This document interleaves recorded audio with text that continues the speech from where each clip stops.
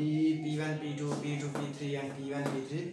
These are three distances by saying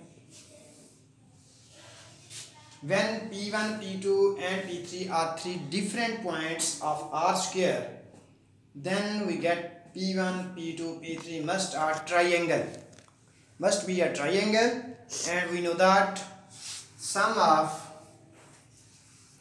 two sides of a triangle is greater than or equal to third side.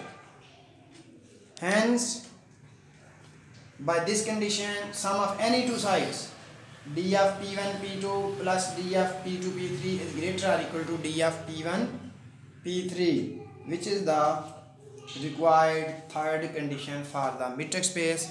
Hence we complete our question